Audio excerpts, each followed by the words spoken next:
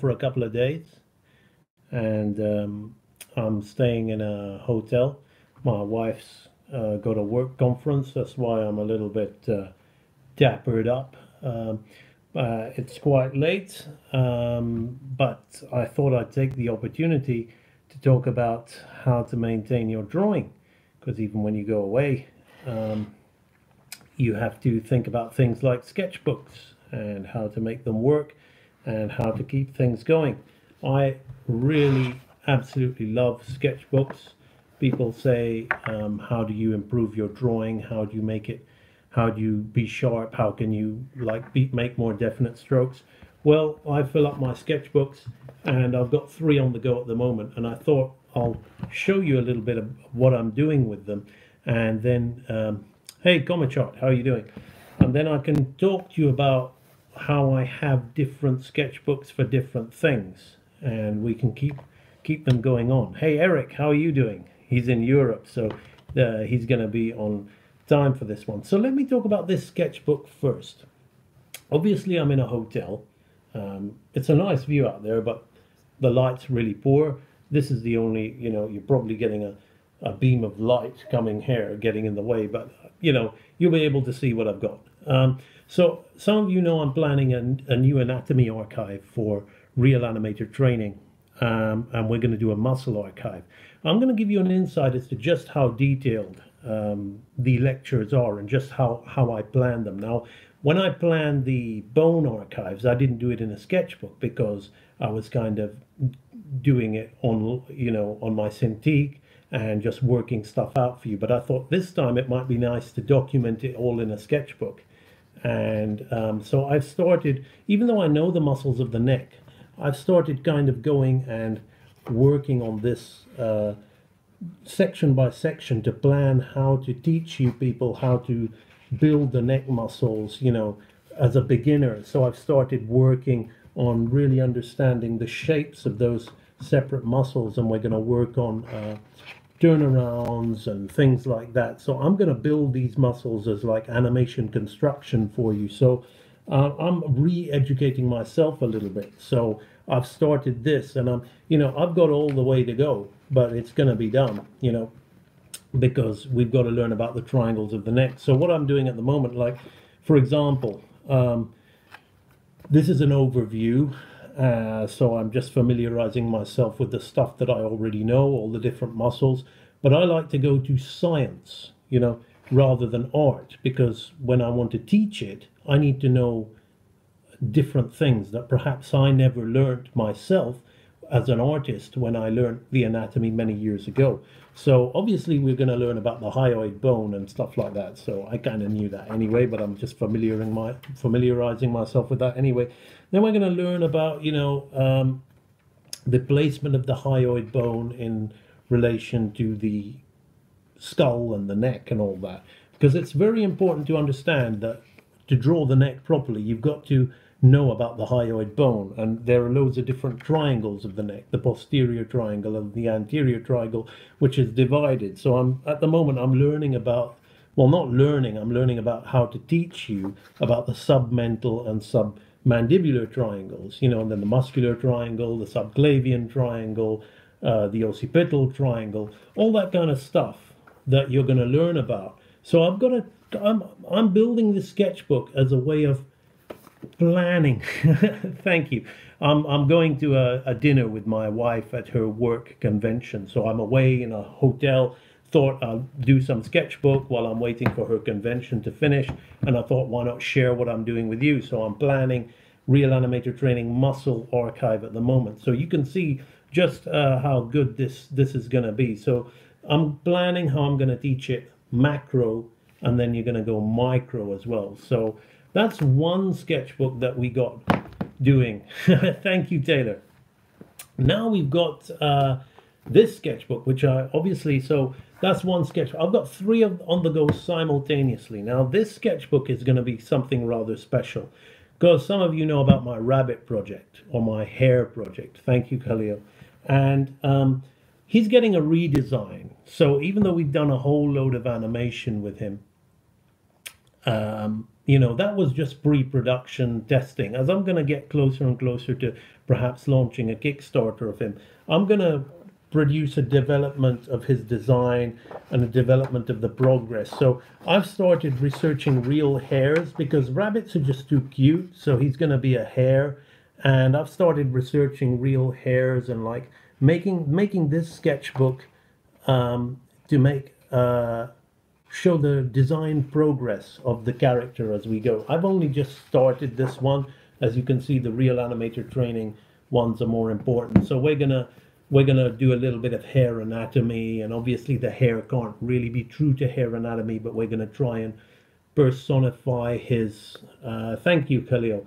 I like to work purely in pen, so no pencil. So all of these, this is, again, I'm going to talk to you. This is what I would call a presentation sketchbook. So you can see I've really thought about the compositions on the page as I've, I've gone and done image searches and sketched these images of hares. So I've really thought about how they sit well on the page. I've also kind of done it with the Real Animator Training Muscle sketchpad that I, that I've started on the on the neck. So I've kind of thought you should really always think about the presentation of your sketchbook, how how it looks nice. It just helps train your eye. It helps your eye kind of understand uh, composition. And I tend to, I've been teaching traditional animation for a couple of years now. Um, with uh, my Real Animator Training Archive. I don't just make the lectures up on the spot. I did when it was live stream library, but now with when it became Real Animator Training, I plan those lectures. I work hard on those lectures to get them as good as I do. And you know, I just thought I'd give you a sneak preview. It's even though I know the muscles, I can tell you all the muscles. You know, eh, all the you know. Uh, brachioradialis, extensor carpi radialis longus, you know, uh, bicep, tricep, um, longus, um, ulnaris, flexor ulnaris, you know, uh, deltoid, uh, pectoralis major minor, serratus anterior, latissimus dorsi, sartorius, you know, uh, you know, um, what is it, vastus lateralis, vastus medialis, uh, tibialis anterior, gastrocnemius, soleus. Yeah, I can tell you it all, orbicularis, oris, frontalis, zygomatic major minor. But it doesn't matter if I know all that. If I'm going to teach it to you, then, you know, um, I've got to rework it so that I know how to explain it to a complete beginner because that's the intention of real animated training. So we've got that to get sport, and we've got this one where you're going to see the evolution of the hare, how his design goes. Then I've got another sketchbook here, um, which is the scrappy. I've been practicing with a brush pen and pen instead of pencil, I feel like it makes more conscious about the line, care, and intent.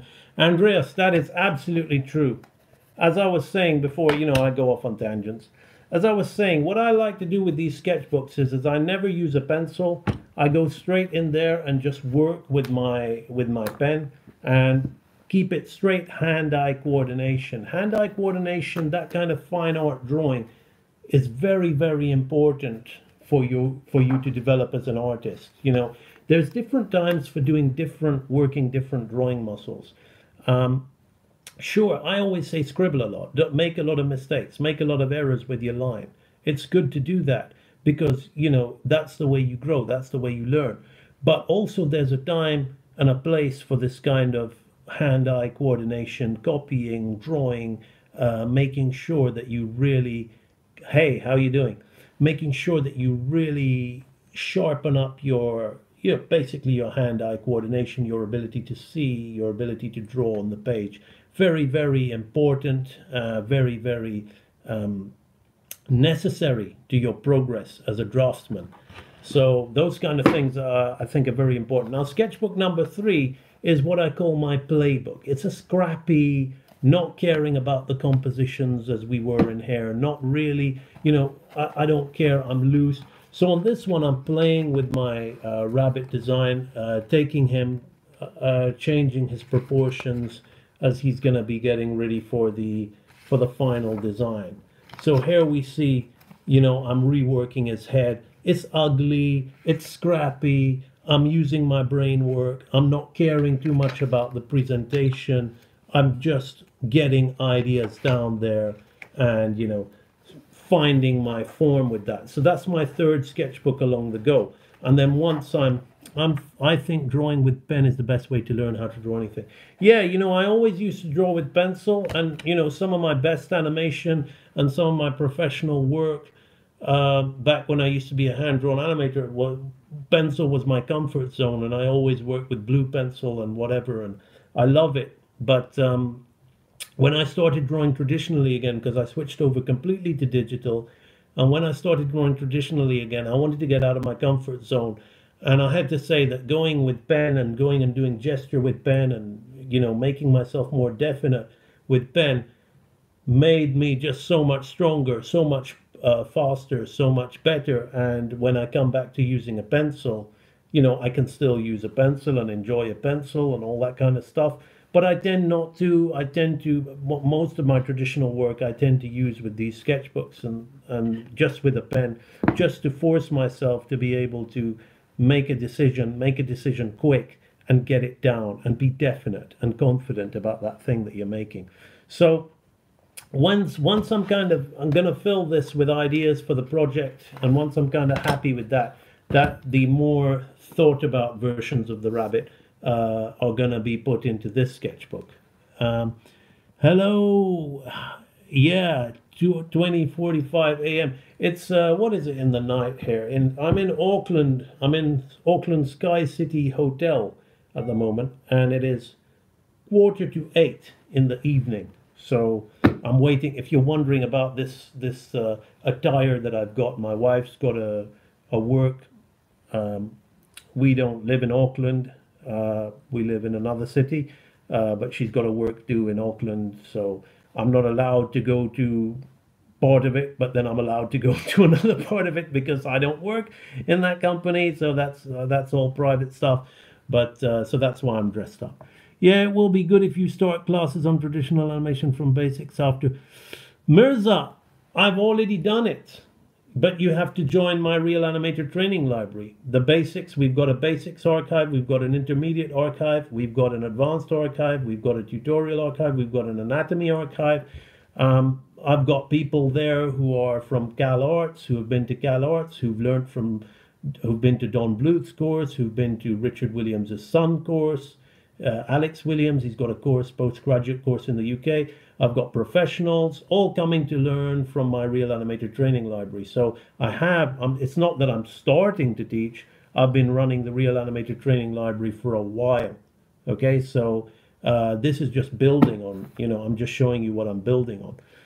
Thank you for sharing this on YouTube. I'm very impressed. Thank you so much, Eric. You're always very generous with your comments. Um, Oh, I'm gonna join it. Okay, yeah, well, go to my site ambanimation.com and check it out. Um, it's really, really good. We're, we're, growing, and we're growing in stature as well. As I said, you know, we've got people who've been cleanup artists for Disney and Canada joining it. We've got people who are, you know, uh, people who are getting hired by Nickelodeon joining it. Do you review animations? Um, not really. I can do sometimes when they're in my Facebook group. Same here. Okay, but when when it comes to me reviewing stuff, I've got a free for all Facebook group. Um, but mostly I focus on my training library members. That's not just because they're training library members. It's because when they post stuff, it's, it's serious. You know, I'm not going to review some somebody's anime fight scene when they don't when they exhibit that they don't know anything about basic animation. That would be me like going and watching a bunch of toddlers playing a game of football and you know really considering it and taking it seriously. There's an artist named Junkin who draws nothing but pen. This guy is insane. Yeah, I know him. Absolutely. I don't know him personally, but I know who you're talking about. He's an amazing artist. Absolutely. So it's important, you know, if I'm going to review a work, I, I, I look at the work and I make an immediate judgment. Does has this person even bothered to learn about animation, or are they just playing? You know, I liken it to kids playing cops and robbers in the playground. People trying to animate stuff without taking time to learn this stuff, without taking time to learn the anatomy. I love your development of the rabbit character. I will keep in mind what you're doing. Concept sketches of my characters. Thank you. Yeah, you'll see with that rabbit character, what happened was is it started off. I wanted AMB Animation to have a mascot like Mickey Mouse, you know. Um, so I wanted him to kind of look like he was from that kind of era, that kind of Mickey Mouse thing. But I wanted him to have a contemporary feel of the stuff that I grew up on. Like I love Street Fighter, I love a bit of anime, but I love Disney more. I am a martial arts instructor, so it was everything that I love and everything about me that I put into that rabbit character and I, I did a little test where, where I was doing some fighting with him and you know I just did it I didn't think about the quality of the animation I just wanted to rush it out because I wanted to produce content obviously it had to be kind of good quality but you know if I really wanted to take my time on it I would have done it a lot better but you know I, I just tested it out and I got, it, it was a good result but it showed me that he was a little cartoony for for certain things that I wanted to do with him but then I went ahead and started working with the with a project that I wanted to do. You know, it was fine him being cartoony. I mean, Who Framed Roger Rabbit was cartoony, but I started putting him in his own little story. And then the story was getting more and more involved. And as I was writing the story, I was getting deeper because I'm a very, Ambi, I have to say, you've changed my perspective on animation completely. Much more patient now. I'm laying a foundation of the stuff. Fantastic. It's my pleasure. It's my absolute pleasure. Um, I'm so glad that I've inspired you to do that. So, what it essentially is is the story. I'm I'm a very philosophical person, and I love the martial arts, what I call the true martial arts, which is not just combative, uh, competitive sports stuff. And um, as I started writing his story, he was getting deeper and deeper. And then I started going and looking at real rabbits and actually physically going and seeing real rabbits. And I couldn't find a single rabbit that wasn't just such a cute little fluff ball that made you want to just, uh, you know, turn turn into just just your just tremendously cute. You know, one of the cutest things I've ever seen. I said, I got a problem there. Okay, like how am I going to make this guy? Uh, you know what I want to make him. So then I started researching. I noticed that hares were so much more kind of vile looking than rabbits. Um, uh, they're not vile looking; they're beautiful, but they look like they could could do some real damage. You know uh, and they look like they can take damage. And that's that's it. More about the rabbit being, being able to do damage. He needs to look like he can take damage. You know, the scenes I've got for the Kickstarter uh, that I've got planned, where we've got a a big. I figure people love fight scenes, so I'm going to try and get a five minute fight scene done with a kind of uh, uh, my kind of version of a Ryu versus Sagat vibe from the original Street Fighter animated movie. But if it was done by a sort of Disney Don Bluth vibe um, kind of thing with with that kind of flavor, but with all the violence, you know, because they're animated characters, you know, and the darkness of say Secret of NIMH. So I, I started uh, thinking about one thing I've always wanted to ask you is if you also paint actual paintings from time to time. No, no, I don't. I don't. I'm a pure draftsman. I'm a pure draftsman. I've always tried to pick up paints and, and do it, and it's always been absolute shit. You know, sometimes I do a bit of digital painting, and um, I've got a bit better through trial and error over the years. And some of the paintings you see of the backgrounds in my own animations that I post up um, are all my paintings. Uh, but what some of them look pretty good uh, as animation background art, but it, but it would probably take a pro painter would probably whack it. Hi, could you learn to draw and animate? Oh, missed that. That's how I describe every create. It's not fun when you do it, but when you zoom out and take a look at it, AMB is too. real. There you go. Yes, you should really go with that. You're right. I totally respect that. Yeah. So basically, the painting, I can. I've, I've become a much better painter, and I might just try painting for fun but when I get when I get the Rabbit project, any suggestion on how to aware people about animation in India? I think animation in India, you know, the movie that I'm working on, but you might notice I'm not online at the moment. Uh, I'm I'm online a bit more at the moment as I've taken a bit of a break from it because the movie I'm working on has got a lot of Indian investment money in there, and there's a lot of uh, when you're working on movies like this, there's a lot of Indian, not just India, it happens in loads of places. There's a lot of uh, infighting and a lot of uh, I don't can't talk too much about it, but a lot of problems with it with the investments and things like that sometimes. So things get put on hold for a couple of weeks uh, or a month, and then you re re come back on or whatever. So that's what's going on at the moment. That's why you're seeing more of me at the moment. So, but uh, I might now, I might, I might just, I might, I'm enjoying real animator training so much that I might just go and re- renegotiate my contract when, once I'm once I'm back starting again because I kind of like lost the interest as I've come back onto this stuff. So I don't know, but uh, but the reason I'm mentioning that is because it's all Indian money. So I think Indians are very aware of animation. Whoever asked that question. Um, so uh, my my background, I've got a, I've got a lot of Indian in me. My parents were born in India, but uh, my uh, so. Uh, I think it's kind of sad that hand-drawn animation. I think the mentality in India is, is they always feel that if they've got a computer or if they've got some kind of something technical that somehow it's got more substance to it than just raw creative stuff. So I don't know. It's it's a different culture. I've noticed that as things have become more computerized in India, the animation industry is huge there, particularly the VFX industry. Like it's kind of like what it is in New Zealand here. We've got a big VFX industry with Weta, but there's so many um, God, what is it, Prime Focus and all these other huge companies in India that are doing all the Hollywood effects now. So India is pretty big when it comes to animation. So, but um, as I said, I'm just I'm just working on it. I mean, when I directed the animation for Lego Legends of Chima Series One, it was all done in India. The animation. So all the animators. I never went to India. I communicated with them on Skype. I would look at their work, for example. They would have a character doing this, and I would say, Look, no, don't do that. Why don't you pick this hand up and then delay this hand by four? So, this is how I would instruct them. Okay, you're watching me being an animation director to an animator in Chima. I'd say, Okay, instead of doing this with your character while he's talking, why don't you have this hand, this hand come up four to six frames later? And then drop them together. So you have something like this. Then as you do that, bring the head down like this, and then as they come down, bring the head up. Okay, so we'll do something like that. Now you put a little bounce on the end, and as you do that, okay, put a little shake on the head. So you have something like this, this, this. Okay, this, this, this. And then have your character talk. And then you'll get a nice little kind of action like this.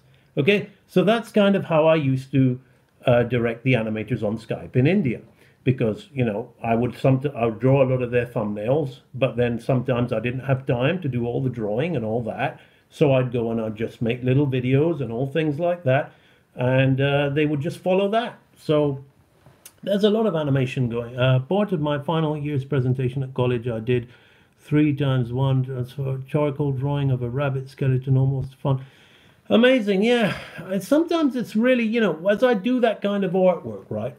Um, sometimes doing this kind of stuff, doing this kind of stuff, I just find it really fun. So when, you know, when you say you've got like artist block or something like that, you can never really have it because I'm sitting there and I'm like, I'm, I'm basically doing my animated projects and when I when I don't feel like doing them I've got this sketchpad to go to where I can revise my own anatomy uh, and or learn how I can break it down to teach you guys better, you know. So I've got that, I've got my hare design, and then if I feel like just scribbling out some cartoons, I've got this sketchbook to go and scribble out some cartoons and all that kind of stuff. It's just for me, the artist block is just a no. I, I, I never understood it. There are many artists here in India, but we're all doing Hollywood's work, and Indian audiences just don't appreciate. Yes, unfortunately, that's the truth. That's the truth. I can't. I don't know how to change a society.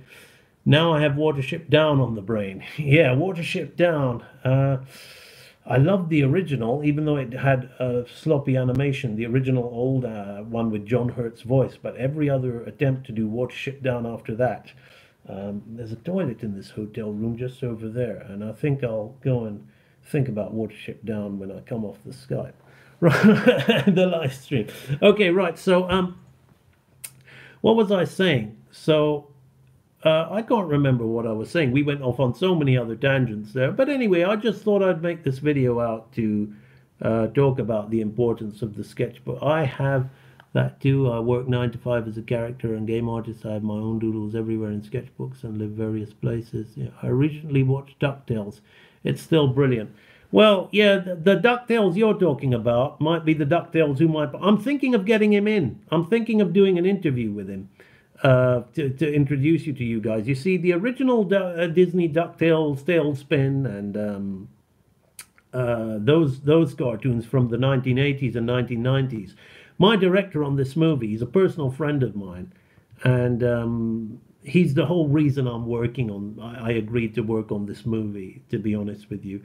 And he basically was the head of layout at Disney UK, and he was doing he he he, he did all the layout direction for Ducktales the movie and you know, DuckTales the movies, um, I've got a soft spot for it. The animation's a bit naff, you know. It's it's all right. It's TV stuff, but uh, I do like those old Disney cartoons. They were high high grade Disney TV cartoons, but they were still TV and they were still animated. A lot of them were animated in the Far East, and they were animated, but the layouts were done in London of all places. So my mate, who's the director of this movie, who basically twisted my arm to come and help him on, on it. Um, I've worked with him a number of times, and I was thinking today, because I've taken a break from the movie because of the politics going on with the investors and all that. I was thinking, I was thinking of when I when I reconvene with him, I was thinking of seeing if he would be up for doing a little interview and talking to to to you guys all about uh, uh, his experience working as a as a layout director for Disney on on on uh, on TV series and stuff like that. And uh, and the other guy who's involved, he's a major VFX artist at the moment. He worked on, dare I say, the, all the latest Disney remakes. Um, uh, for example, all the motion camera tracking and all that for the CG. But he was, I think, animation director for the TV series 101 Dalmatians. He also worked at Disney London way back. They're considerably older than I am. And I was thinking, you know what? I'm working with these guys, and I never thought about it before. I never thought about bringing in some of my my mates to come and come and give a come and share their experiences with you as well, so you can you they can talk a little bit about you know working on some of those projects. Uh, so so you get to understand and all that. If if they agree, it'll be good. Maybe I'll even get my mentor um, involved. Uh, I don't know if he if he'll be up for it. He's a busy man. Um, but uh, that would be good if he if he'd agreed to talk about his time working on Hercules as a lead animator and working with Brad Bird on The Iron Giant as a sequence director and you know. So I've been thinking about possibly getting these guys to come in and do maybe like podcast style interviews um, to to enlighten you all, you know, um, and share you like some some of my peer group, you know, the people who I'm used to working with because obviously people often ask me do i know this and do i know that and i don't really watch artists on social media i watch one one every now and again but i don't watch him a lot either which is, is the mighty blaze you know um, Guile, why am I here? It's 4 a.m. You're here because of the magic of real animator training and AMB. no, but thank you. I really appreciate you being online. So that's it, really. I mean, I, I, was talking about something and I kind of forgot. I think it was about, yeah, it was about the painting. It was about, before I go, let me finish up about that. Now I remember. Somebody asked me about painting. So even if my painting has got better and whatever, the, the, the, prob- the thing is, is you shouldn't, there, there are many pieces of information out there that go focus on your weaknesses, you know, do your weaknesses, you know. But I don't believe in that. Um, I, have over over the course of my life, I've read a lot of. Um, over the course of my life, I've read a uh, a lot of success books and personal development books, um, and uh, a lot of them say the same thing. How are you doing? They talk about um, actually double down on your strengths, not your, and you know, you, work on your weaknesses if you can, but double down on your strengths. So I might do painting just because I enjoy it. I might try painting just because I enjoy it, but I never focused on it. I always wanted to be an animator and I always drew in line and I always worked on my drawing, never my painting. You know, I had know a little bit about color theory and these things and contrast being interesting and light and shadow more from a drawing perspective than a painting perspective. But even if my painting, like for example, some of my digital painting of background art equals some of the drip gods. You're going to quote me some more Rocky. We'll do we'll do some Rocky back and forths in the chat. Uh, in the burning heart, just about to burst. Ah, I remember that. I remember that. But uh, so even though some of my my digital painting background art, I would say, is now on a par to some uh, of the background art from 90s Disney movies. Not the best background art, but some of the some of the background art. I still wouldn't call myself a painter. I still wouldn't do it. Uh, I do it at the moment on my own little test pieces because it's just me. But once, for example, we get the rabbit thing going ahead and, and we get a budget and we get some capital, then I, will step aside and I'll put it in the hands of somebody far more capable than me, far stronger than me, because I want the better results. So I don't want to be. I've got my idea about the the uh, the how it should look and the art direction. But for example, my mate, my friend, who's who was an art who was an art director uh, for the guy I was talking to you about, the Ducktales layout guy, and um, he's also gone to Ireland and done stuff for Cartoon Saloon and Secret of Kells and stuff like that. Now, I might not personally be that in, into the whole Secret of Kells look. Um, Iron Giant was awesome. I like the cop character. Uh, yeah, the, my mentor basically uh, boarded and supervised that whole interrogation scene. That was his sequence that he was in charge of, the whole interrogation scene between Hogarth and the cop. Could you have a localized payment option as I'm interested in the course, but Africa versus dollar is confusing. I'm, I'm kind of I'm really sorry about that, but as I'm as, as I'm growing, I might start factoring stuff like that in. So, uh, like even like with the Americans, like I'm a UK based, even though I'm here in New Zealand, I'm based in two countries, but I'm primarily UK. So I do everything in in Great British pounds, and um, it just makes it easier for me. It makes it more more manageable for me. Sometimes it's a stronger decision to walk away from things you don't like, especially if you're a person that's very ambitious. Absolutely, absolutely. So maybe as you know, the library is growing and it's getting much better and better and stronger and stronger, which is why I'm able to even contemplate turning down multi-million dollar movie projects which are being put in front of me. Um, but it's still not there yet for me to start thinking about um, other territories. Like I know I have a lot of people from from India actually, and from Egypt, and from uh, from Africa. I'm getting a lot of African interest. So I think as I start to grow, I might look into talking to some African investors and seeing what we can work out. But at the moment, um, at the moment, it's kind of I've got to I've got to focus on what I'm doing. I can't take my eye off the ball. So in a way, I kind of like uh, I like them doing all this in front of all you guys, so you can all see how AMB has kind of unfolded and happened. Um, uh, and I can maybe inspire you also to get off your asses and to do something with your art as well and to realize that we live in amazing times. You can start something online yourself, you know. Um, I have to say that I've got a lot of respect for uh, a lot of people have. I, I don't often Mulan animation versus Mulan 2 animation is like night and day. Of course, because Mulan animation is done by some some of the best animators in the world, okay, which were the hand-drawn traditional animators that were, you know, uh, basically the best in the world. Some of them went off to DreamWorks, some of them stayed at Disney, but you know, there was very few people that could do what they could do. And Mulan 2 was done by um, animators who were, competent, good and strong animators, but were in um, other countries, farmed out. That's how it works. You really gives hope to us all, and be glad the animation brought brought me here. I'll stick to what I love. Absolutely, so you should. There, there are plenty. Of, there's plenty of um, people who are able to do stuff with their art online. You know, these are amazing times, and you shouldn't you shouldn't worry about how good you are. You shouldn't worry about how good you are, because there's there's a variety of people out there who have got all kinds of levels of success, and it's never round to Dracula. Well, I guess you're calling me Dracula. I'll take that as a compliment because I heard that vampires are supposed to be devilishly good looking. So thank you.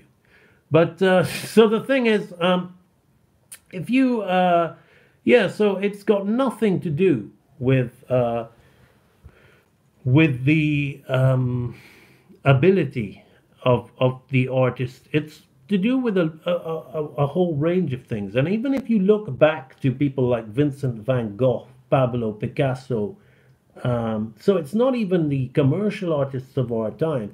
If you look back to those guys, some of them might have died in poverty, that's true.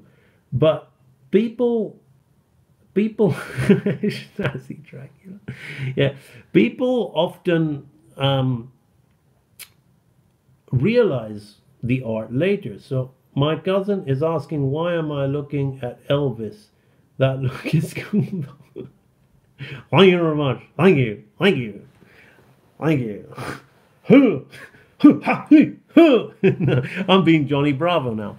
Well, as I said, some of you coming late, uh, my wife's got a dinner at her work, and we've come all the way to a hotel, and I brought my sketchbooks to keep me busy. The light is getting even more. I'm gonna bring in the I'm gonna bring in the orb here. So the light is getting even more poor. But I brought my sketchbooks along with me. I'm gonna go and take her out for some evening uh, dinner or something. So that part um, I can go with. So that's why I'm looking like this.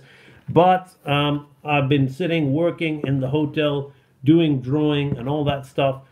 Johansson, I've, I've already showed the sketchbooks. I've already talked about that. Um, there are three videos on the go basically very quickly for those of you turning up late this is a muscle one so i'm developing i'm i'm working out how to teach you guys uh, muscles this is gold because i want to animate but there is not information on how to yeah so basically even like even without my real animator training library video this could maybe inspire you to go out so you see i haven't even got through the anterior triangle of the neck. And how many pages is this? Okay, one, two, three, four, five, six, seven, eight, nine, ten. Okay, so this is 10 pages, and I've just started, I've just finished the what I would call the submental and submandibular triangle of the uh, of the neck, which consists of the mylohyoid, the stylohyoid, the digastric muscle, and there's also another one called the hyoglossus. But I won't be teaching you that one because it's unnecessary.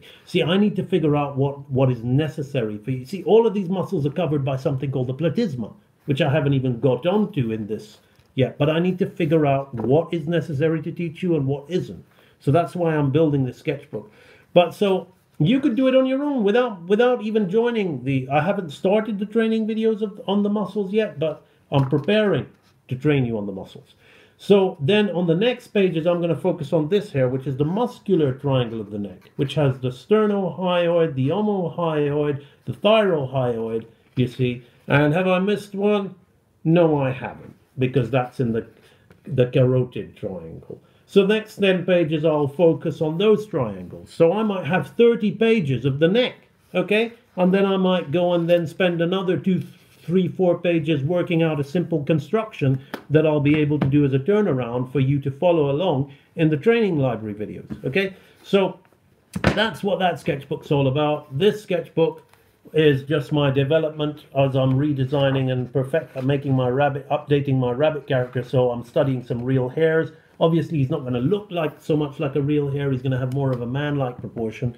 But uh, obviously, I want to get as much of a hare in there as possible to, to, to create an appealing design. So um, we do live in it. My lecturer often says animate life, not movement. Yes, but in order to animate life, you see, that's a good saying. But has your lecturer taught you the 12 laws? Has he taught you there are six laws of movement and uh, six laws of life? You see, in order to convey life, you need to understand the laws. You see, the laws of movement, I would say, is timing, arcing, uh, slowing in and slowing out. Okay, I would say pose to pose and straight ahead. I would also say um, timing, arcing, slowing in, slowing out, pose to pose, uh, straight ahead. I would say solid drawing. You need to keep things solid. Okay. And then you have what else do you have? Then I would start talking about the laws of life. I'll find out what I want to do. Uh, maybe I'd put squash and stretch in there, but that's not necessarily, you know, you've got You've then got anticipation, which I would call a law of life because we anticipate things. You've got primary and secondary action, which is based on anticipation, so that's a law of life. You've got, um, yeah, law of movement, follow through, overlap, and drag. So that's your six laws of, of movement because things follow, they overlap, they drag. Then you've got your primary and secondary, uh, you got your anticipation, you got your staging, you got your exaggeration, you got your appeal, and you got your squash and stretch, which are your, your six laws of life because those kind of things put the laws in. So you need to really know those 12 laws off by heart. If you can bang out the 12 laws off by heart and then understand which laws are the laws of, of movement and which laws are the laws of life, not everybody teaches it. This is the way I teach it because I, people talk about the 12 principles, but you need, I like to teach them in a certain order. Are there any animations you still struggle to do? Um, I guess if I was going to struggle to do animation, it would be to struggle to really convey a genuine performance. If, if, if I just want to move something, you know, Bruce Lee once said about martial arts, and I believe it's true about animation, because once you learn the movements, okay, once you learn movements, you're kind of able to do anything but then how to do that thing honestly. So I remember in an interview, he was saying, I could show you some really flashy move, you know, really, you know, amazing, flashy, cocky move. But to express myself without lying to myself, my friend, that, my friend, is a very difficult thing to do, honestly. That's what he said about to, to, to martial arts. So rather than you look at a Bruce Lee fight, he's not doing somersaults and flips and all those kind of things. In fact, he couldn't do that. When they wanted a flip, they'd ask another actor to do it. That wasn't martial arts. He was more interested in direct, quick fight movement, finish, whatever. And that's why he was so unique in his expression. So, animation is acting, animation is expression. So, once you get your kind of driver's license and you're able to make anything move, it's being able to make that thing move with conviction and real believability. You know, I'm I'm I'm I believe I'm a great animator. I believe I've got a lot of ability, but I know that I don't have the ability of someone like a Glenn Keane who can drive a person to de- tears with by making the beast die, or who can create a design like Tarzan, who moves so much like an ape a character who has been brought up by apes and doesn't know how to move like a man. Fucking hell. I, I mean, that is just genius. That is absolute genius. If I was given that task, I, I need to think more of myself and believe in myself. But I, where I'm at right now, I would just think, I would come up with something and think it was good. And then Glenn would walk in and say, This is my idea. And I'd be like, oh, okay. Because that is so damn good. You know, that is just so amazing. That is that is a whole new level. You know, that is that is a real that is a real, real animator. You know, that is I mean, even the guys who made the Spider-Man movies, the what is the Sam Raimi Spider-Man movies, they were studying Glenn Keane's Tarzan surfing around through the trees saying, We want Spider Man to move through the city like that. I mean, how cool is that? How cool is that? That's why I'm in awe of those guys. I'm in absolute awe of those guys. So it, it, might sound arrogant to you if I said to you, I don't struggle when I animate. I don't struggle. I can animate anything. Give it to me. I'll do it. Whatever. I'll do it and I'll do it good. I'll do it, I believe, better than a lot of people, better than most. But there are certain people out there, in my opinion, who just destroy me because they have true, genuine expression, true, genuine expression, and they have attained that level. You know, um, I'm streaming in New Zealand, Auckland time. Uh, I'm amazed that I've got 39 people online. Quarter past eight. I've got a dinner at nine. How do you feel about Milt Kahl? Milt Kahl, another one. You see, I'm talking about Glenn Keane because one of the things I've realized is, is when I give examples, a lot of you guys are so much younger than me. You really are. You know, I'm I'm pushing 42. So a lot of you guys just don't know the stuff that I talk about sometimes, and I think that's why maybe some of my stuff doesn't really get. I sometimes get frustrated. I sometimes think, why, why bother with YouTube? They don't appreciate my uploads, and then I think, well, people like current stuff, you know, and most people online are kind of young, so I got to get on understand that people will like the new current things, you know. Now it's not my fault that current stuff is crap.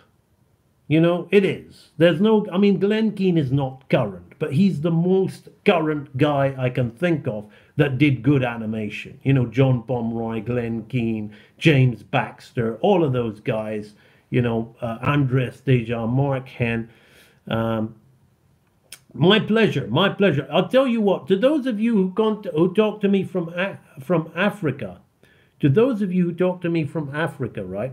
I'm gonna, gonna get a chance to say this to you. I love you guys. Thank you so much, you know, because I've, I've been getting a lot of messages from people from Africa who have been telling me that they're really, really thankful for the stuff I upload on YouTube. And it's really hard to learn hand drawn animation there. Um, so so it's really hard to learn animation there for them. Sorry, just reading some of the comments and it it just makes me realize that I've got to keep uploading more content on YouTube that's free and that's full of uh, information. Um, if anything, for those guys, because some of those guys, simply because of the exchange rate or whatever, I don't know, they they struggle to get into the library. And I know that my library is mainly for Western countries at the moment because obviously I'm still at a building stage. I need to support myself too.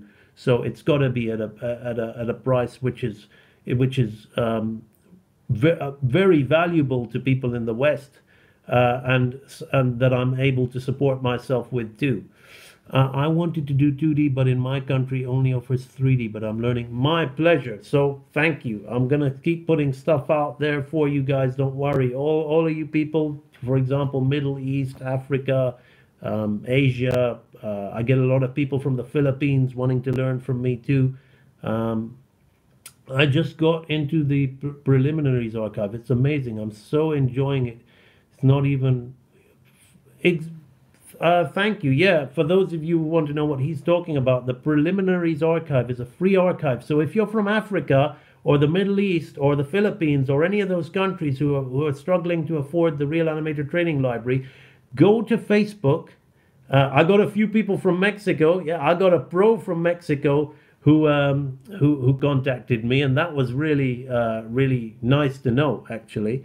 Um, so go to Facebook, and I've got nine free. Um, yeah, I remember Yellow uh, Cerebus. You're Sean. I know who you are. Um, go to Facebook. There's nine free training library videos for you to to, to learn from. And I, I tell you what, they're really value packed. It was really heart heartwarming the other day. We had a woman who joined the Facebook group who, who's not a library member, but she's really, really studying those uh, free videos, taking notes from them. And her five year old daughter had to go at the bouncing ball and the swinging pendulum. And it's amazing that even a five-year-old is understanding timing and arcing. And I and I don't take that lightly because I think you know that's why I started this whole thing to to retrain the future generations to know the true skills of hand-drawn animation. And if a five-year-old is able to produce uh, content that that has more timing to it than some college graduates out there, just from my little video like that, I'm thinking to myself, I, that's that, that that actually really excites me. That really excites me because it makes me think that when that five year old gets to a certain age, they might get a buzz. They might start looking at animation in a different way. They might just be seeing stuff and seeing things that looking at that going animation law, you know, animation law, you know, timing, spacing, like spacing just post to post straight ahead. Okay. So when people say timing and spacing, what they mean is uh, slowing in and slowing out. Sorry. Uh, not post to post straight ahead. It just basically the timing, how long it takes, okay, and how do you add weight to the, the how do you add speed to the timing. Question, are there any animators or you can see a certain cycle walk in the street and be able to animate it?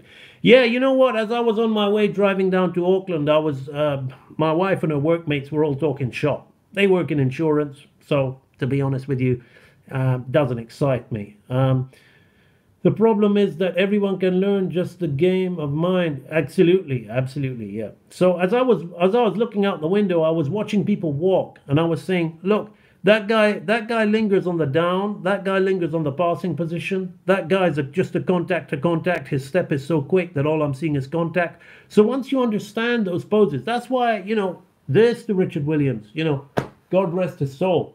This to him because although I teach this stuff too, and I teach it very differently, library members know that I teach it very differently to what he teaches. I teach very differently, but I've got a, I've, I've got a profound respect. Um, we love it when you talk about Glenn Keane and Milt Kahl. I love it too. I could go on for hours. Got a profound respect for him because he spent a whole book just talking about those positions. So you don't need to study from my library or anybody or anything. You can just buy that book. It's not very expensive and you can read that book and you can just start understanding those different poses of the walk. And then when you watch people walk and you really understand and you know a little bit about timing and slowing in and slowing out, you could say, okay, if I'm going to animate that walk, I'm going to slow into the down. If I'm going to animate that walk, I'm going to slow into the passing position. If I'm going to animate that walk, I'm literally just going to go from contact to contact. Okay, and I might I might combine the down and the passing position together because it's so fast. Okay, so when you start watching people walk, you start looking at that kind of thing, and um, then you're able to maybe understand uh, a little bit better. So, yeah, I mean, no, no matter what level you're at, you should always try to see things.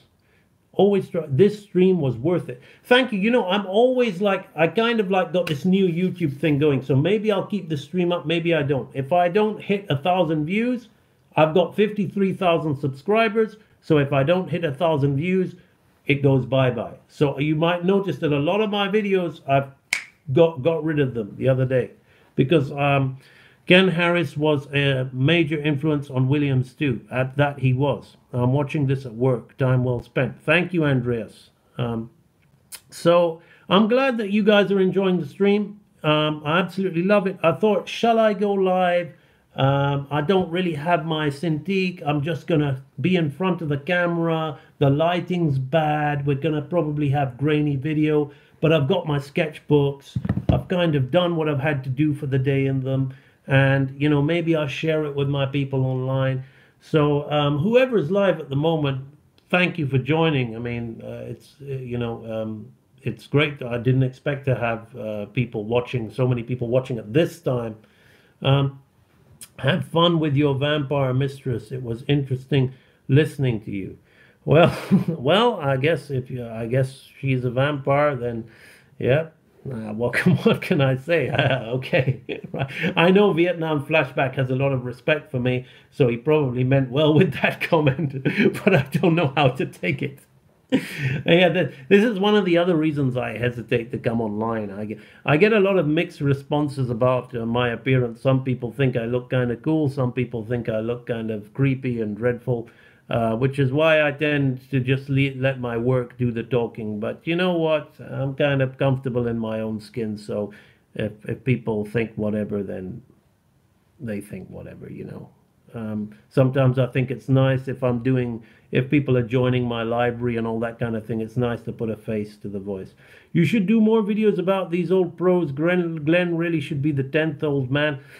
Well, what I did is I did, I see people who say, I, what I did is I have started doing like, if you see the Lion King one, thank you, Khalil. If you see the Lion King one, um, thank you. If you see the Lion King video on the scar, I'm breaking down um, Andreas Deja. And I've done a lot of Milt Kahl breakdowns, and a lot of my breakdowns, uh, some of my breakdowns I did, I've got in the library as bonus material in the Ask AMB streams and whatever. So it's not really courses, but it's bonus material. So it's not you can't really charge for um, for that because it's somebody else's work. So I've just, I would have just deleted that, but I've kind of kept that in a vault, the Ask AMB vault, and it's just bonus material for people who watch. But I'm, I'm starting to do more breakdowns and just leaving them up for free because I think, you know, for as I said, I've got to find ways to, that I can share and enlighten people who are perhaps non-library members and, uh, you know, um, I believe it's always good to give. So I've, I've started to leave stuff online. There was my video why was the Lion King. So I might do a breakdown um, uh, I might just ask you guys what would you like to see me break down uh, in regard to animation and character animation. But I will say, let me just see if I can plug in my uh, charger in case this thing dies on me. But I will say, um, never charge your phone when you're, you know. But I, what, but what I will say is that basically, um, if I if you're going to request me to break stuff down, I don't mind breaking down some anime. There's a lot of strong anime out there, uh, strong scenes, and I have broken down some anime. Um, but when I break stuff down, there's going to be no fanboy stuff. It's got to be high grade animation. It's got to be good animation that needs to be studied uh, and learned from. Somebody asked me to break down some flash animation one day. It was literally just they said, AMB, can you do a breakdown of this? And I didn't want to be rude because I think the person, I, I had a, quite a few back and forths with the person and I, I kind of like them and I think there's a lot of mutual respect. Um, but I just didn't reply because I said, my God, I mean, how am I going to break that down? It's absolute shit. You know, I, I could do better, you know, when I'm, when, you know, when I, when I've got diarrhea and I'm sitting on the toilet, you know, that's just, I can't even talk about that. That's just absolute garbage. Why would I break that down? Um, so when I break down an animation, it's got to be a strong piece of animation. I did break down a Roger Rabbit scene. Um, if you go to my channel, have you seen Nocturna? Yes, uh, Yellow Cerebus. I worked on El Cid the Legend, which was Filmax animation. I worked on. Here we go again. You look like a Brazilian Dracula. Thank you, thank you. One, ah, ah, ah. Two, ah, ah, ah. Three, ah, ah, ah. Now the count will teach you timing and animation. One keyframe. Ah, ah, ah. There you go. Everybody calling me Dracula. Okay, right. So, um, yeah, I worked on uh, El Cid the Legend, which was a Filmax animation film. And I know that they made Dra- um, not Dracula, they made Nocturna, which looked really nice looking film. It reminded me of a cross between uh, City of the Lost Children, and I can't remember what I was going to say, so I'll just say City of the Lost Children. And then there was also um, uh, this kind of animes inspired film they were doing with this ninja guy. Um, so there you go. There you was. I love Roger Rabbit. You find him a tiny bit floaty at times. Absolutely, yes. Yes. Um, I absolutely love Roger Rabbit. You have the tongue of a harsh teacher, the empathy of a monk, and the honesty of an expert. Man, I love that comment. I'm leaving the stream up and I'm going to take a freeze frame of that. That's whoever said that. Thank you. That has got to be one of the best um, remarks anybody has ever said about me. I, you know, people have said many things about me, some good, some bad. And I've even found some of the bad things quite hilarious, to be honest with you. Me and my wife often read them and laugh about them. And, uh, you know, we, we, we tell people about them and we have a good laugh about what people say about me. But, but I have to say that that was one of the best things I've, I've ever heard. Thank you so much. Uh, but um, yes, I find Roger Rabbit a little bit floaty at times. Um, there's good and bad animation in many things. I think Roger Rabbit, though, uh, stands up as one of the greatest pieces of cinema ever made.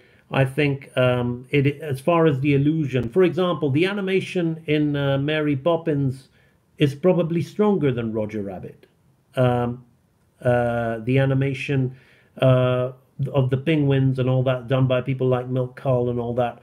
But does that make the illusion better? If I'm honest, no the overall illusion of Who Framed Roger Rabbit for me has never been bettered. I think, you know, Space Jam is very, you know, one of my heroes and uh, one of my mentors and somebody who I've worked with and learned a hell of a lot from Uli Meyer. I've got so much respect with him for him. He designed the Swackhammer and all the villains and had had influence in Lola Bunny and he you know he was instrumental in space making Space Jam but for me, Space Jam has a is is very very weak in regards to um, who, comparing the animation to Who Framed the Illusion, not just the animation, the illusion to, to Who Framed Roger Rabbit.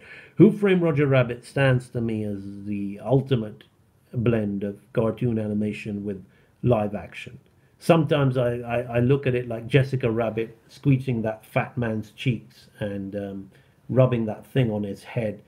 Um, bellissimo. It is just outstanding.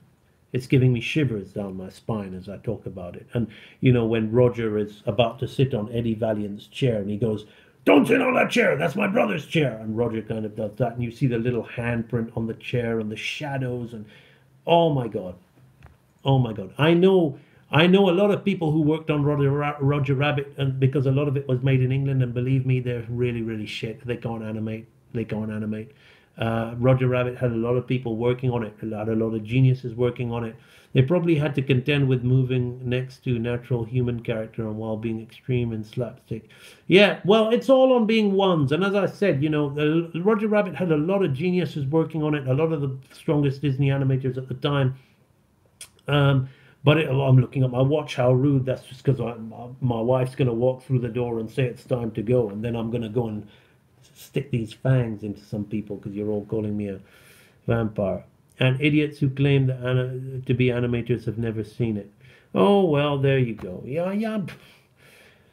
You know what? Um, many people, people just have different vibes. If somebody loves anime, okay, every, I've got to make this clear, like, because of the stuff I say on my streams, a lot of people think that I'm out to bash everyone who likes anime, and some people love it because they've, they've got their own personal vendetta against anime people. Look, I love anime, and I'm going to let you into a secret. Part of my dress sense is inspired by King of Fighters. What is it? okay, I love anime. Okay, I don't hate anime. I've got to be very honest with you. I love some of the design style. I love some of the influences in there. I love Japanese things. I love martial arts. Of course, I'm going to love anime. What I talk about on my streams is when I talk about animation quality and learning animation, I'm trying to connect with the people who are serious.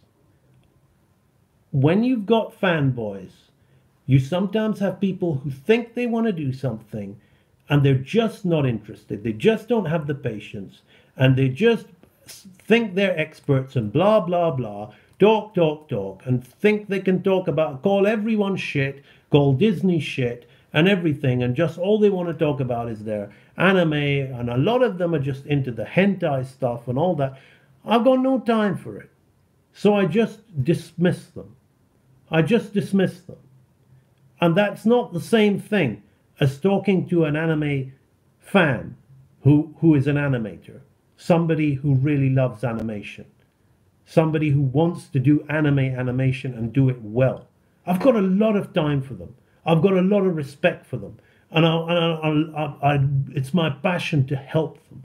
What is your opinion of one of the best 2D animations and the best quality you know would like to watch something today and learn something?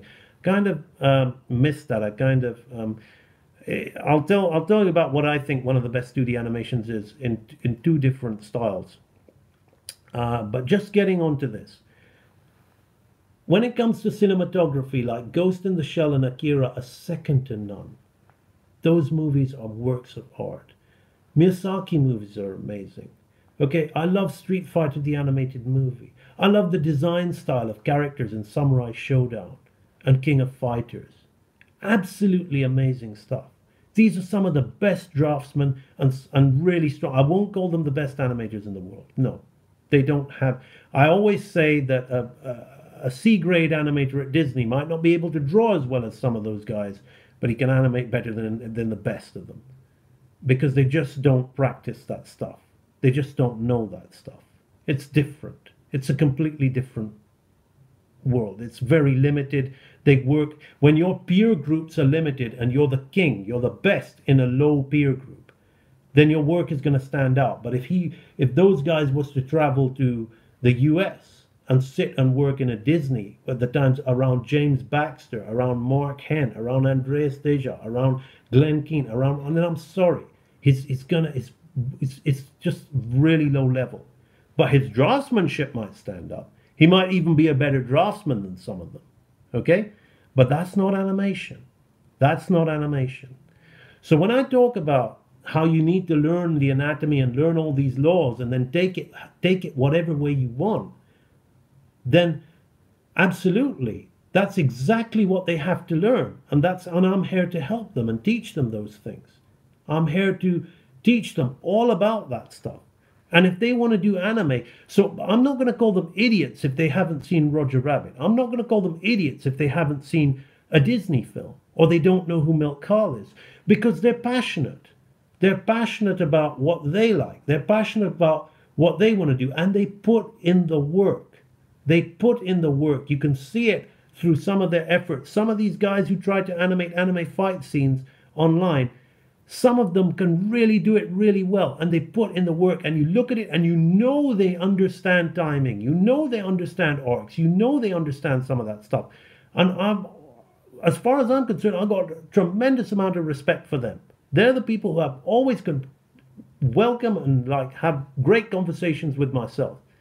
But the ones I talk about on the streams are the ones who come online yapping that they know it all and talking about how uh, you know, Disney's for children and blah, blah, blah, simple cartoon stuff and telling me that I, you know, this is an animation, this is boring, what I'm teaching about all this, you know, the no patience.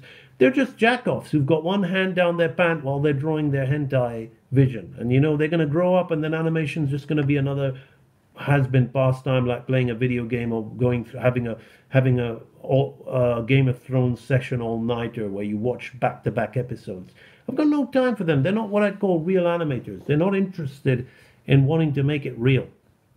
Basically, a real animator isn't about how good you are or whether your animation is good or bad. It's about how whether you want to make it real and whether you're willing to do what it takes to make it real. Are you going to train for real and make it real? There's better 2D animation on YouTube videos than there are in many mainstream movies. Well, I don't know about that. I don't know about that. You see, I see a lot of talent on YouTube, which is why I'm doing what I'm doing.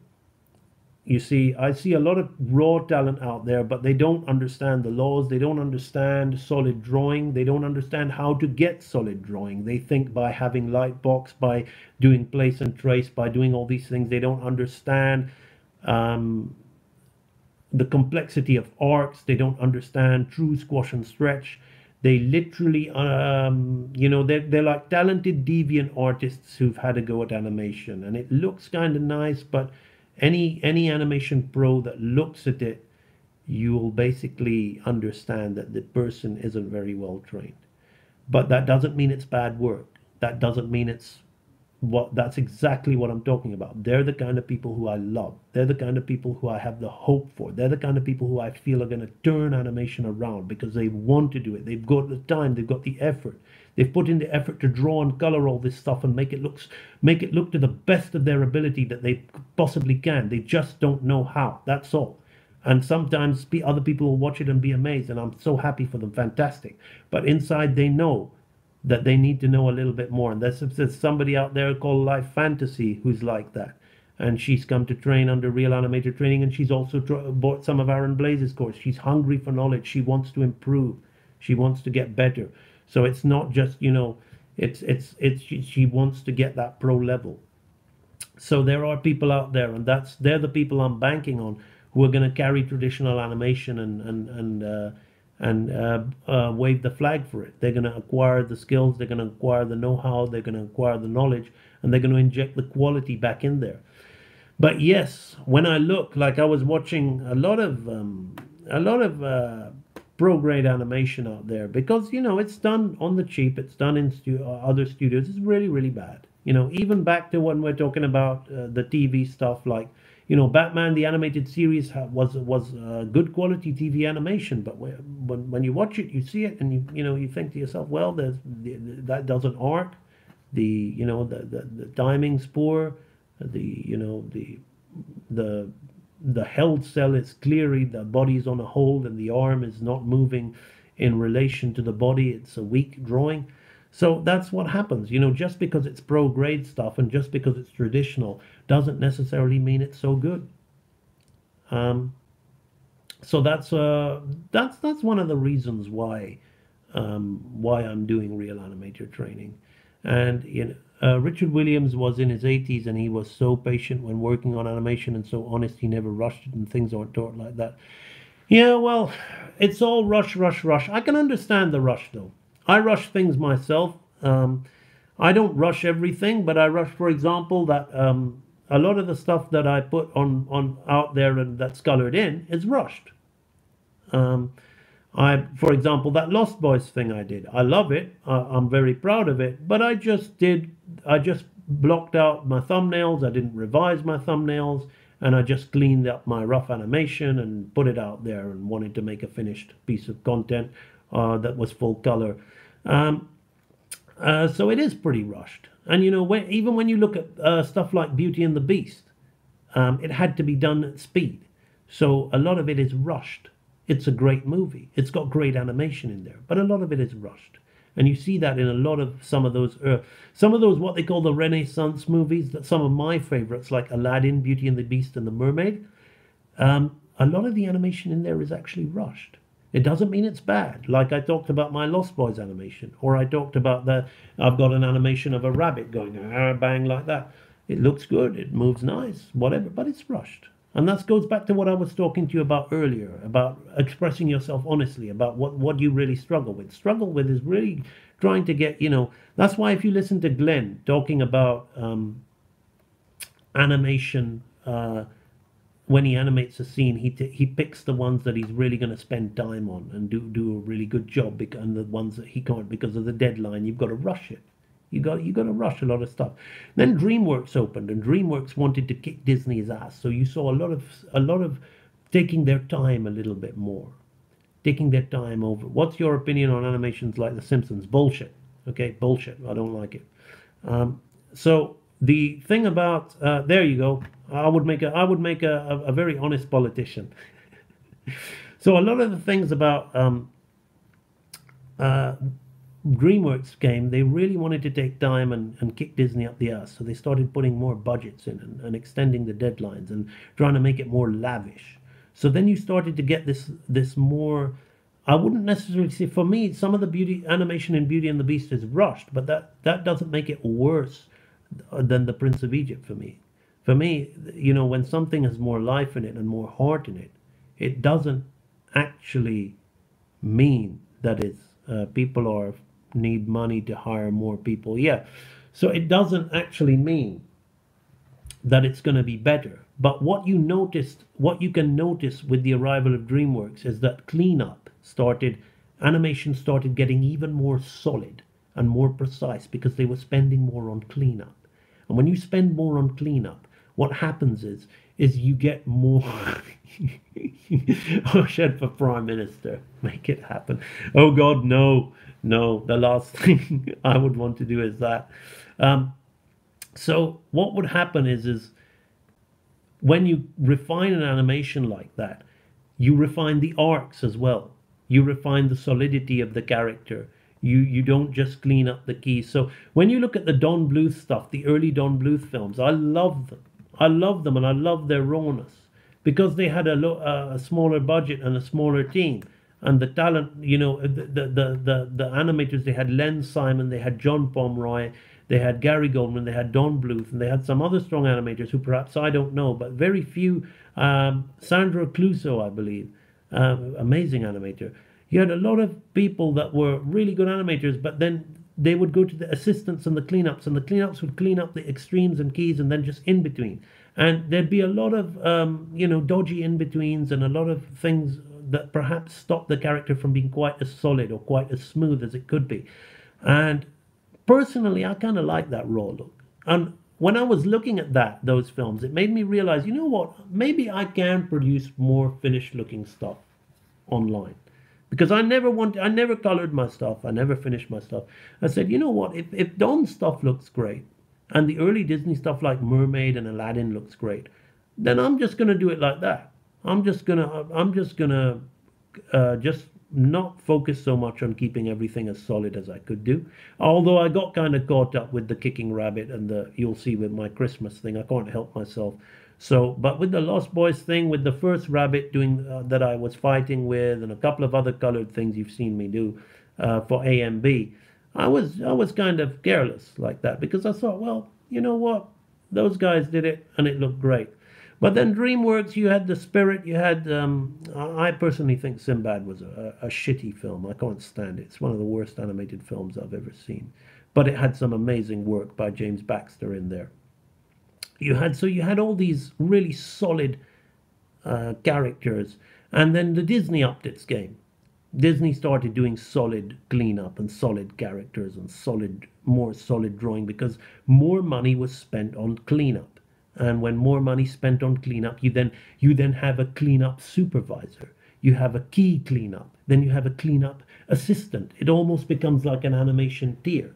Whereas back in the day, you had an assistant animator who would do rough in betweens, give it to the cleanup. The cleanup guy would uh, there'd be a head of cleanup, and the cleanup would go on and do all the all the uh, stuff that uh, the, the, instruct all the other things about keeping things to model. But then the cleanup team and the in between team would just work their hardest, but they didn't have the time and they didn't have the budget to really lavishly work the cleanup the way they did when when DreamWorks came on the scene.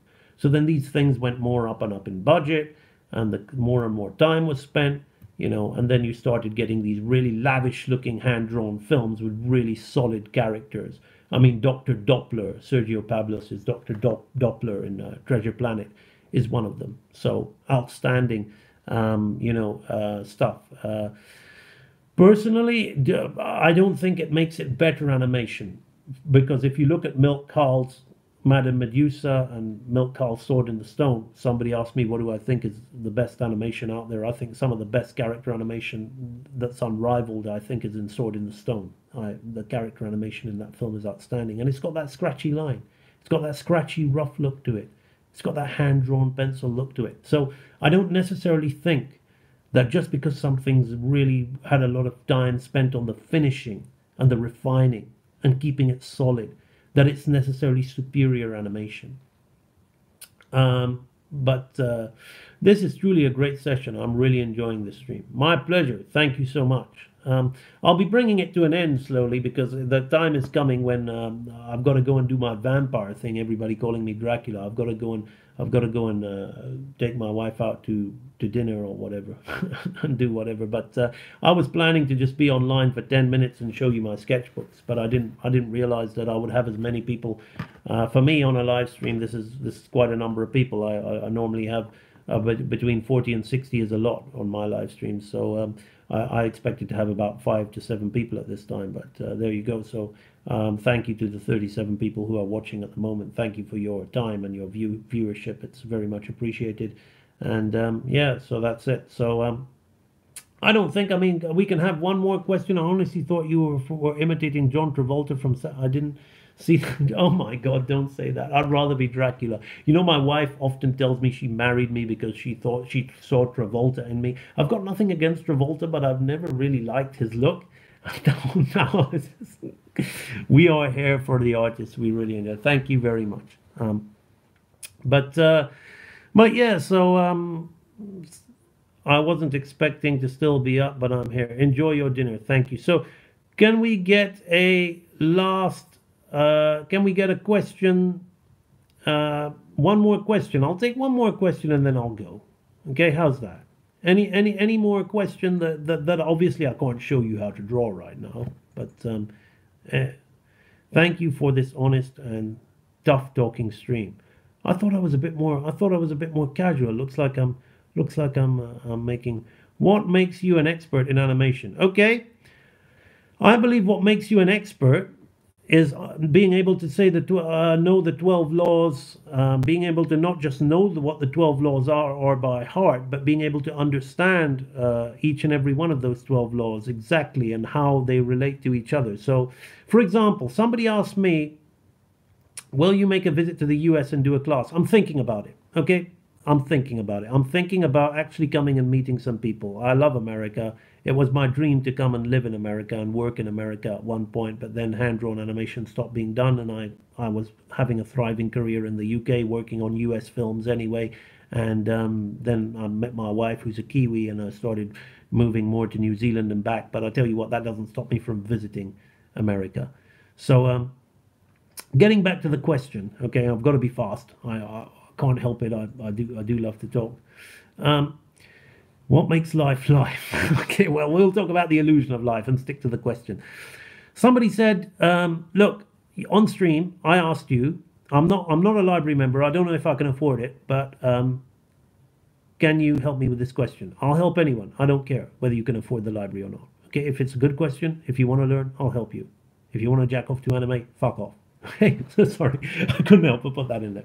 But um, but the thing is, he said, look, you said, what's what can I do as a beginner to be good at animation? I said there are 12 months in a year. There are 12 laws of animation. Why don't you learn spend one month learning each law? Okay, do that. Then you'll be a good animator. So I just said that off the cuff from on, stream, and he said to me something. I got a message on my Facebook, and he said to me, "Is there an order that you should learn these laws? I've been uh, the laws you you said you taken from the 12 principles." And, and I've got the illusion of life. And he starts with squash and stretch. Now, I messaged him back, or I didn't message him back. I spoke to him on stream because he confronted me again because I didn't have time to message him back. And I said, Look, The Illusion of Life was written by animators for animators. It is my Bible, it is the ultimate book on animation. But I'm telling you now that you cannot start with squash and stretch. Okay, if you know nothing about animation, you cannot start with squash and stretch. These guys were animators trying to improve their animation. So they already knew and understood everything, but then they found by doing these 12 things that, that these working on these 12 things, they would get better and a more outstanding animation. Squash and stretch, they found, wow, that really brings life to it. But here's the thing how do you time squash and stretch? How do you anticipate squash and stretch? Well, how would you use it in anticipation? How would you arc it? When would you use it? If your character is going into a down pose, okay, is he going to squash? Of course. If he's going in an up pose, is he going to stretch? But what about the drag follow through? How is that going to squash and stretch? Okay, so there has to be a law. There has to be a way that you understand these things. Now, the law of laws, the first law of all, is timing. Everything is done within a space of time. Okay, the second law of laws, which you can't negotiate, which goes hand in hand with timing, is slow in and slow out because that affects the speed. If I go like this and go like this, there's got to be a slow in and slow out somewhere. If I go like that, it's got to be a slow in and slow out there. But I'm going to throw in an anticipation. I'm going to anticipate. That's in martial arts, you call that telegraphing the move. Okay? So this thing is anticipation. But before anticipation, we got to talk about arcs. Okay? So we got slow in, slow out, timing, arcing, the three major laws of movement, which everything else is based on. Everything. Everything. Then you can start talking about pose to pose, or straight ahead. How am I going to work out how to do this movement? Okay, so he's here, he anticipates back. We don't know about anticipation yet, but we're studying. So we, we just say he brings his hand back and then his next hand's there. Okay, so the arc is going to be like this. It's going to be a circular arc. Okay, it might look straight like this, but it's going to be a circular arc. So he's going to bring it back. He's going to throw that in there like that. So it's going to be something like that. Now what we're going to do, we're going to slow into this pose. We're going to slow, we're going to, we're going to then virtually connect here and we're going to recoil and we're going to slow into the recoil because it's a circular arc like this. It looks straight, but it's a circular arc. I'm not doing this. I'm doing this. It's a straight circular arc. So the, at the end of the day, you need to understand that pose to pose. I will do it pose to pose rather than straight ahead. If I did it straight ahead, I'd have a mushy looking thing which doesn't work. Okay, I might say, I might work out a movement straight ahead later on. I'll see he puts his hand here, he does another one, he brings this around here. He, okay, that I might start working out and then making a flow straight ahead. So straight ahead, pose to pose. Okay, timing, arcing, uh, slow in, slow out, straight ahead, pose to pose. Okay, then you've got, so that's four. Then you've got, um, God, what is it? Pose to pose, straight ahead, arcing, uh, timing, slow in, slow out, follow through and overlap. Okay, follow through and overlap. Okay, so this is here, but look at my sleeve.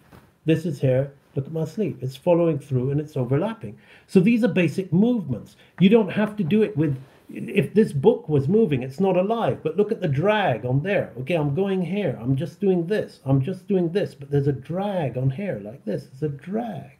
Okay, there's a drag. So there you go. So you need to understand the laws of movement. You need to understand how things move first. And then you can think about the laws of life. Okay? So if I'm going to do something like this, I'm going to put it, I'm going might throw in, some of you guys like talking about uh, smear frames. I don't like smear frames or, uh, or um, multiples, but I might, because it's such a fast movement like that, okay, I might throw in a smear frame, which could be a stretch a stretch and then have the fist squash and bring it back. If it connects the person, okay, if it connects the person, have a little bit of a squash. You, you wouldn't necessarily draw the connection, but you might have a little bit of a squash on the face and then have a stretch of it moving back as it connects. So squash and stretch comes in to give it more life. Okay? Primary and secondary action. Before I throw the punch, the punch is the primary action. The secondary action could be the Bruce Lee kind of like this with the head. That's the second reaction, Like that. Okay? Secondary action. The head. But the head is arcing like this, the hand is arcing like this. Okay? Immediately. That creates something. So that, again, so when you think about those kind of laws, see, now you're seeing, as I'm explaining to you, I'm kind of putting on my animation director head. This is how also when I direct people, I tell them to, to look out for these arcs. See, immediately my head's doing that, and it's going in opposing action of my hand, just for a simple punch. Just for a simple punch, to make a simple punch look better. You see, I could have done just on just on that.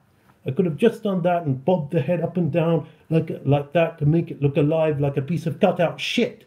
Cutout shit. Okay? No, it's not good enough. You, if you understand these laws and these arcs, and then you can you can then put an extra arc on the eyebrow after the punch, and then you can really bring in the character to bring more life. This is also appeal, exaggeration. So after the punch, I could open the eyes and bring it in, and then lead in with another punch, but the expression leads. Okay, so it's like this kind of thing. So all of this stuff is damn important to becoming a better animator, and it's all based on these laws. All based on these laws. Your six laws of movement and your six laws of life. That's the what that. So if you say, "How do you become a good animator?" I simply say to you, animation law. Know the twelve laws but more importantly, understand them. Don't just say arcing, timing, pose to pose, follow through, squash and stretch, primary, secondary, anticipation, exaggeration. It's just empty memorizing. Reading and memorizing these things is not enough. You've got to understand them. You've got to act on them. You've got to. It's like me. You could you could sit here, could sit here and fill a whole sketch pad memorizing all this stuff. You might remember it, but it'll be useless if you're not actually taking note. If you're not actually really taking note of what is, if you're just drawing this and saying, "Yeah, I'm working anatomy. I filled a whole sketch pad, so I know, I know, I know anatomy." Nah, nah. Sorry, you gotta mind and body you got to absorb the information. Just drawing it for the senseless act of drawing it, yeah, I got it done. It's like a child doing homework because he has to do homework and then he wants to get that coursework to pass the test. The schools don't give a shit what he does with his life afterwards. They don't care. They just want the grade. You know, he wants the grade. A couple of years down the line, he doesn't remember any of it. Waste of time. Okay, you got to really, really absorb the information understand it, make sure it sinks in so that when you do your work, it's work that's great. Okay? And that, just as I've said, do your work, I'm going to end the stream now because I've got to go to dinner. And I'm going to end it with my favorite quote. I hope I remember it. I was talking about memorizing. I'm going to read. Uh, anyway, so I hope I remember it. Okay? Do your work. Not just your work, but a little more for the lavishing sake. That little more, which is worth all the rest. That little more that I was talking about, which is worth all the rest. And if you doubt as you must, and if you struggle as you must, do your work. Put your heart into it, and the skies will clear. Then, through your very doubt and your very suffering, will be born the supreme joy of life. Because it's that suffering and doubt that actually makes it all the more worthwhile, my friends. So, whatever it is you're doing right now, if you really believe in it and you want to you want to make it real, you got to train for real. You really do. You got to put your heart into it for real. If there's one thing I'm going to say to you, never mind about the library. This is this is just real talk regardless. That's called the Real Animator Training Library. Never mind. Just get real with yourself. Whatever you do, do it for real. Do it for real and it'll become real. I tell you that. Just make it real. It's got to be real in hair. That is the right side. it's got to be real in hair, right? Okay? And on that note, I'm going to go. See you later, people. You're going to see my finger come on here. And how do I end the live stream? How do I end the live stream? What do I do? I got to press this thing here. And I don't even know how to end. Is it this X here? There. Are you sure you want to stop streaming? Yes, I do. Okay, bye bye, people. Thanks a lot. You've been an awesome audience.